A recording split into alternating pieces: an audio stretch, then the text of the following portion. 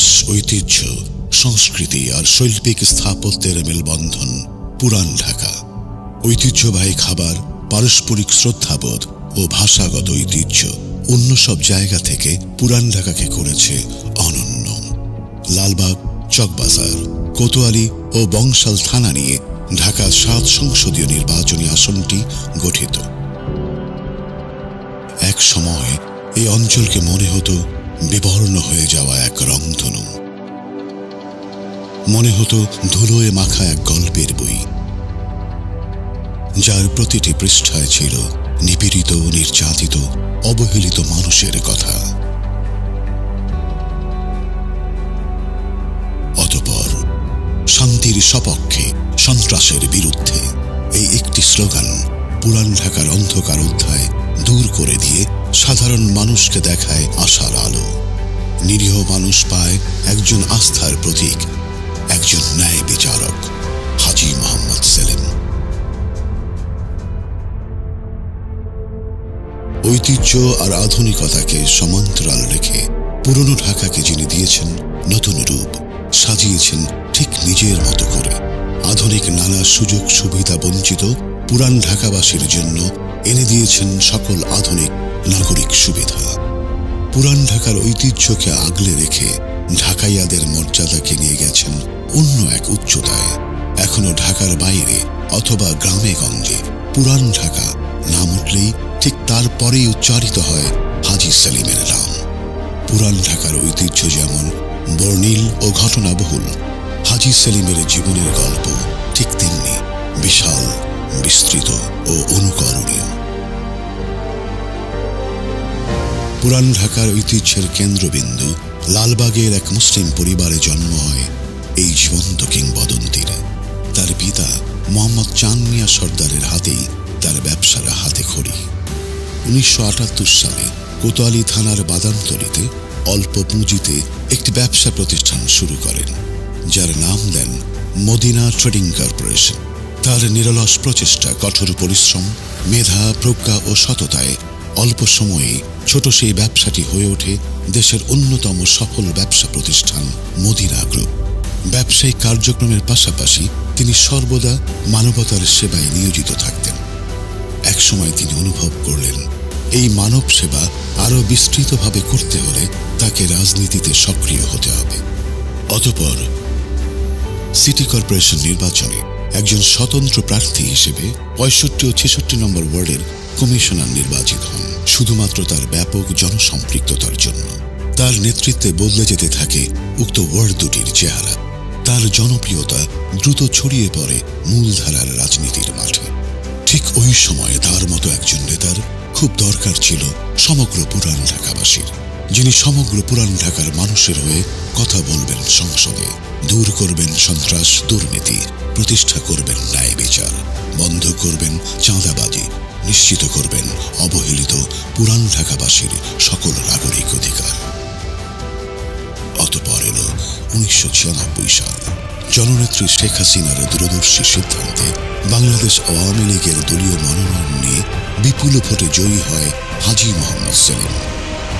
সন্ত্রাস, চাঁদাবাজি ও মাদকের ভয়াল থাবায় পুরান ঢাকার আসনটি তখন জর্জরিত। মানুষের জীবনযাত্রার মান নিম্নগামী। শিক্ষার নেই আধুনিক ব্যবস্থা। চিকিৎসা ক্ষেত্রেও পিছিয়ে আসনটি ধুলো জমে ঐতিহ্য প্রায় হারাতে বসেছে প্রাণের এই পুরান ঢাকা। ঠিক এমন সময় নিপীড়িত, নির্যাতিত, অবহেলিত মানুষের সমস্যা নিয়ে সংসদে ওঠেন হাজি মোহাম্মদ সেলিম। শুরু হয় এক নতুন দিগন্তের। বহু বছরের জমে থাকা ধুলো সরে যেতে শুরু করে। বইতে থাকে নতুন এক হাওয়া। হারিয়ে যাওয়া পুরান ঢাকার আসল ঐতিহ্যের রূপ দেখা যেতে শুরু করে। পুরো দেশের মানুষ অবাক হয়ে দেখতে থাকে।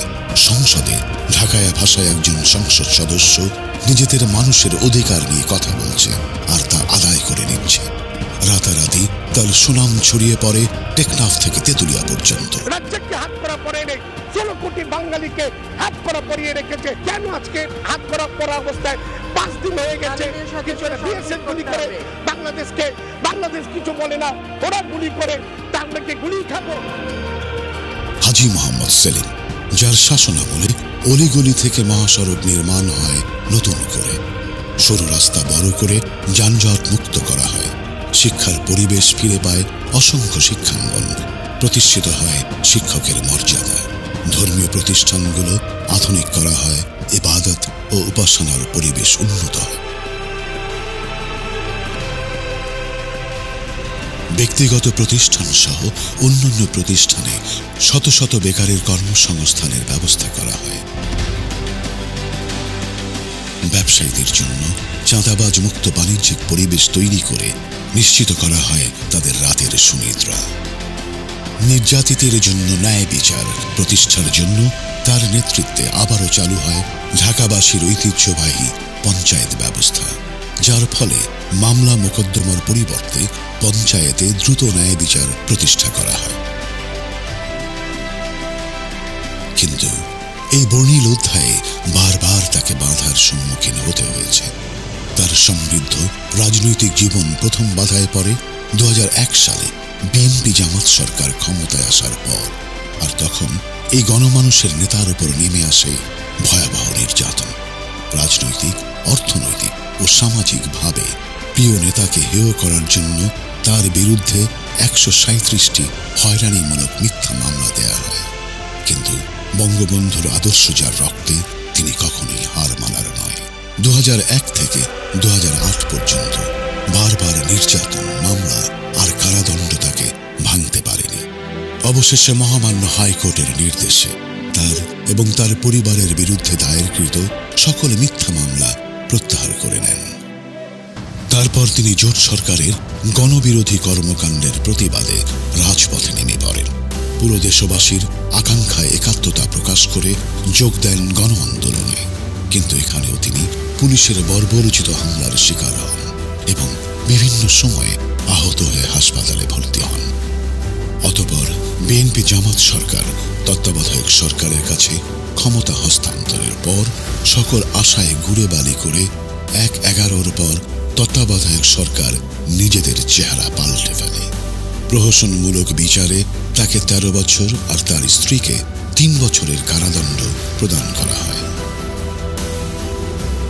তত্ত্বাবধায়ক সরকারের প্রহসনমূলক বিচারের কারণে দু হাজার আট সালের জাতীয় নির্বাচনে জনপ্রিয় এই নেতাকে অংশগ্রহণে বাধা দেয়া হয়। কিন্তু নিজ দল বাংলাদেশ আওয়ামী লীগের স্বার্থে তিনি সক্রিয় ভূমিকা পালন করে গেছেন সবসময়। অবশেষে তার মতো ত্যাগী নেতাদের অক্লান্ত পরিশ্রমে বাংলাদেশ আওয়ামী লীগের নেতৃত্বাধীন মহাজোট নিরঙ্কুশ সংখ্যাগরিষ্ঠতা লাভ করে সরকার গঠন করে। তারপর নিজ দলের হয়ে তিনি কাজ করে গেছেন। সংসদের আসন ছাড়াই লড়াই করে গেছেন সাধারণ মানুষের অধিকার আদায়ে। একটি এলাকার উন্নয়নের ধারা অব্যাহত রাখতে, জনগণের অধিকার আদায় করতে সাংসদ হওয়ার বিকল্প নেই। আর সেই চিন্তা চেতনা থেকে দু হাজার চোদ্দ সালের জাতীয় নির্বাচনে বাংলাদেশ আওয়ামী লীগের দলীয় মনোনয়ন না পেয়েও শুধুমাত্র সাধারণ জনগণের বিশ্বাস আর ভালোবাসার উপরে ভরসা করে স্বতন্ত্র প্রার্থী হিসেবে অংশগ্রহণ করেন এবং জনগণ আবারও ভোট দিয়ে তাকে জয়ী করে প্রমাণ করে। এই পুরান ঢাকার উন্নয়নে হাজি মোহাম্মদ সেলিমের কোনো বিকল্প নেই।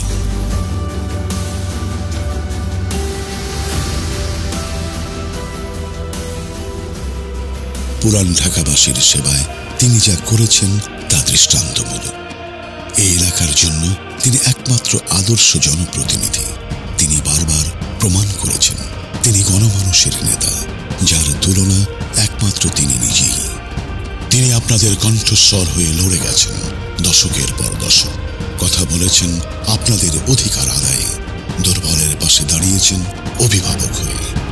আজ সময় হয়েছে আপনাদের কণ্ঠ দিয়ে তার কথা বলার। আজ সময় এসেছে আবারও তার পাশে দাঁড়ানোর। তিনি চুপ করে আপনাদের জন্য কাজ করে যাবেন।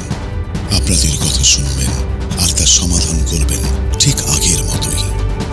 উন্নয়নের ধারাবাহিকতা বজায় রাখতে সেবার অভিজ্ঞতা ও দক্ষ নেতৃত্বের প্রয়োজন।